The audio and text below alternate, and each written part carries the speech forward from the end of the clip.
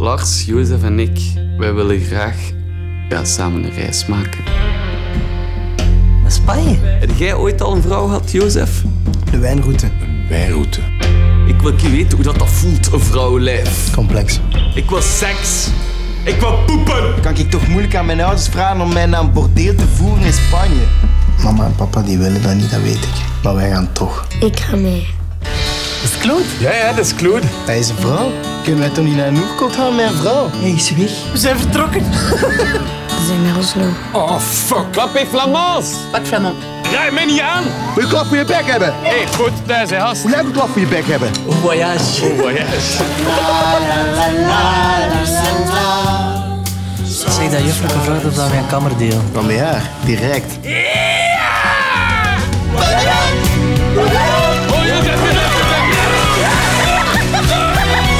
Doet wel zeer aan mijn nek, hè. Misschien hebben ze een Alciali ook mannen, hè. Hallo, hallo. Jij en Lars komen bij mij op de eerste plaats. Hi, Martijn. Godverdomme,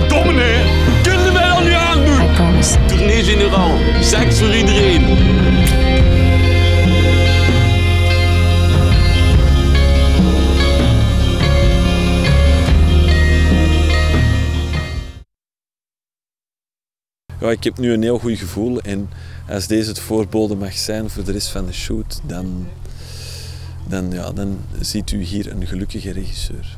You know when you're down, I'll come rescue you, yeah. You just give me a call, I'll come running to you. You know when you're down, I'll come rescue you, yeah. You just give me a call, and I'll come running to you. You know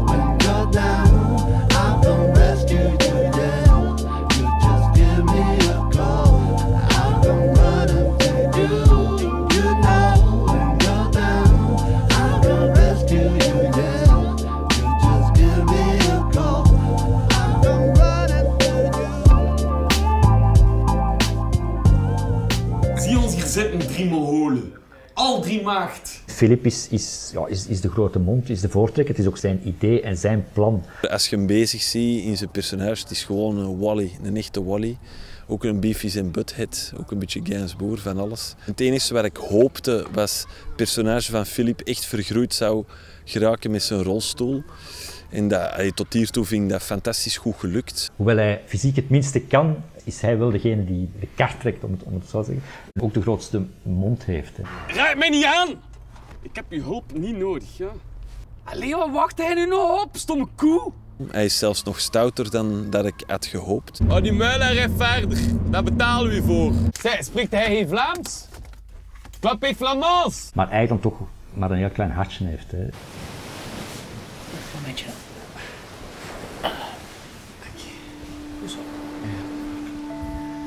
Stap wel, papa.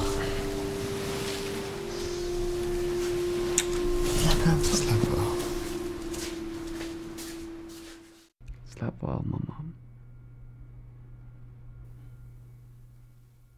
Er zijn een mooie, warme, lieve, zachte kant. Ik ben daar heel blij om. Hé hey Claude, merci hè. Had gelijk. Dat is hier een duizend sterren hotel. Check dan,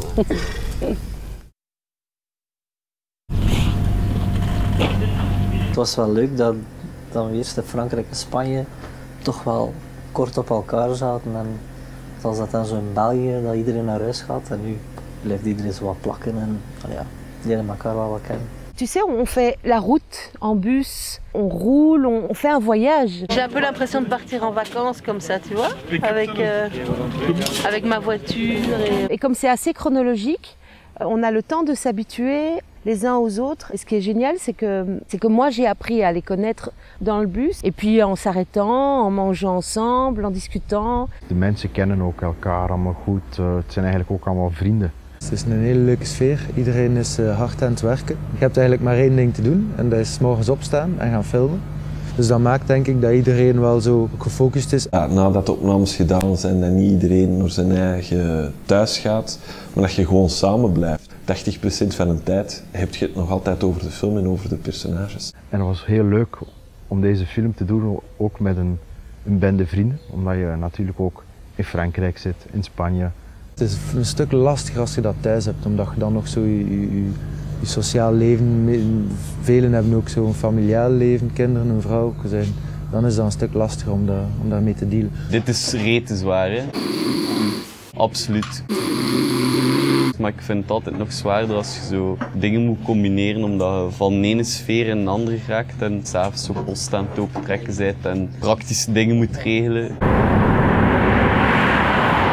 Je hebt niet altijd de luxe om in een film op voorhand genoeg tijd te kunnen doorbrengen en met de regisseur, met de acteurs, de personages ook te zien in al hun outfits die ze hebben. Nu zijn die personages bij mij ook meer en meer eh, gegroeid. Tegen dat we in België gingen beginnen, wist ik echt wel eh, hoe dat ik een kamer er wou laten uitzien. Euh, La France a été vraiment un bon baptême, on va dire. Ledige stilte, we gaan draaien. En geluid. Oké, beginposities. Stilte alsjeblieft, start er terug op. 149 test. Camera.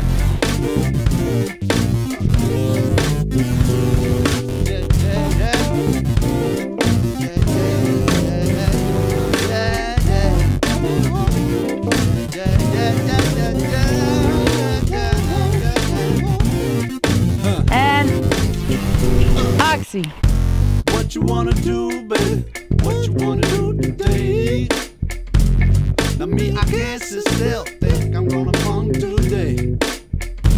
You know me, baby. I think I know you. Oh, oh. Just give me a minute. Now here's what we're gonna do. We're gonna get on up and gonna get down tonight. We're gonna be together, baby. Everything is alright. Now Let me look at you, baby. Show me your smile. Forget my troubles. Happy like back when I was a child. Something's wrong with the radio waves.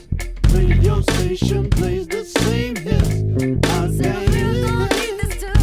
Try to put away and hide the phone from me. Yeah, yeah. But I got plenty of fun to set you all free. Uh, everybody's got fun, but you just don't know,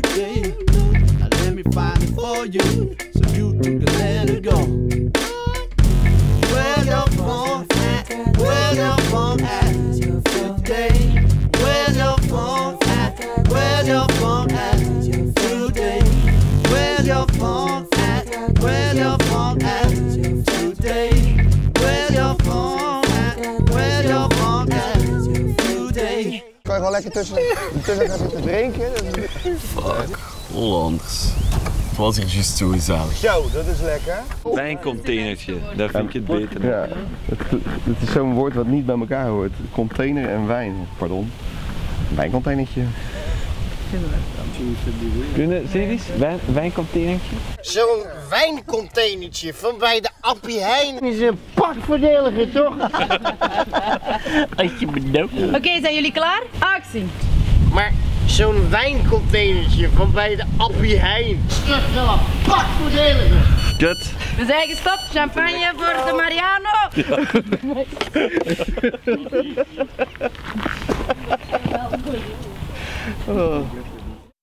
Film doe je niet alleen. Dat is daar echt geen medium voor om een solo-kunstenaar te spelen. We gaan toch beginnen met de ramen met iedereen. Eh, Als het voor make-up niks uitmaakt, en mogen wij al uh, na het beeld zullen naar beneden komen en iedereen beginnen checken. We gaan uh, wees afhankelijk zijn van het snel werken altijd. Het is altijd groepswerk waar uiteindelijk ik een eindfilter ben. Ja, zo. Twee stappen.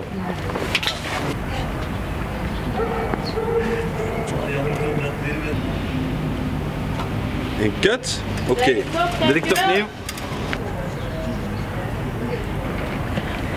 Kut. Ja, schoon hè. Zo. We zijn gestopt. Er zal nooit iets gebeuren waar ik niet akkoord mee ben, maar natuurlijk kies ik mijn mensen uit en word ik omringd door mensen waar ik zelf in geloof. Oké, we kunnen beginkadertje maken. Ik werk inderdaad wel al heel lang samen met Joffrey. Ik denk dat het ondertussen de vierde film zal zijn? We zijn samen afgestudeerd, we hebben samen hetzelfde eindwerk gehad, waar hij dan DOP van was en ik regisseur. En we lieten eigenlijk alles op, op ons afkomen. We lieten onze acteurs altijd heel vrij en daaruit kwamen altijd heel goede elementen. Eigenlijk onze aanpak is altijd een beetje hetzelfde gebleven. Met elk project dat zich aandiende, was hij mijn eerste keuze. Ik weet heel goed hoe het met hem samenwerken is, we voelen elkaar heel goed aan.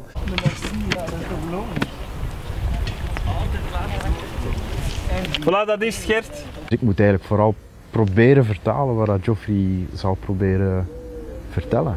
Gert is beeldend kunstenaar, is ook technisch zeer goed. En dat geeft mij meer de kans om mij op het verhaal en de acteurs te concentreren. Maar natuurlijk eh, is het altijd een eh, samenwerking.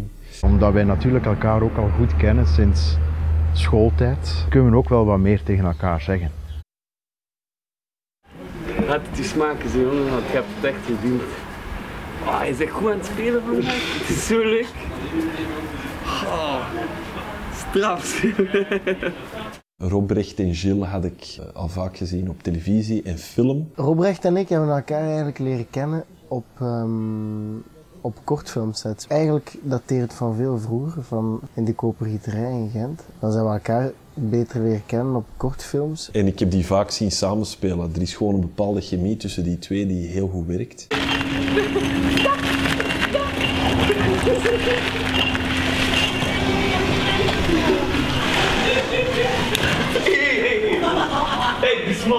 Ik denk wel dat ze in die combinatie, dat ze daar wel vertrouwen in hadden. Dat die chemie er al was, dat dat niet iets was dat moest gespeeld worden of zo.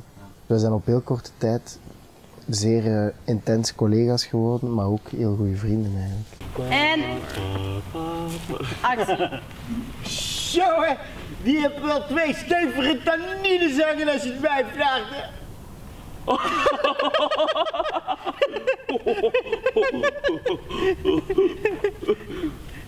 En nog een keer? Zo hè, die heeft wel twee stevige tannines hangen als je het mij vraagt.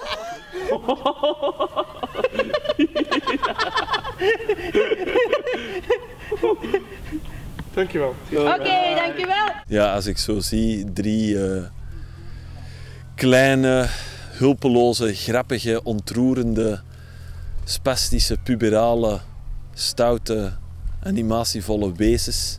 En er is dan zo'n klode bij, die zo boven de grot woont. En die in het begin per, per tijd en stond zo iemand van de fregels kan vastpakken. En hen bijna zou kunnen opeten. Allee, dat beeld. Vanaf dat ze stapt, je echt het gevoel, moesten daar een beetje met perspectiefwisselingen spelen. Ze zou zo een van de drie personages kunnen vastpakken en opeten. Dankjewel iedereen en de draaidag.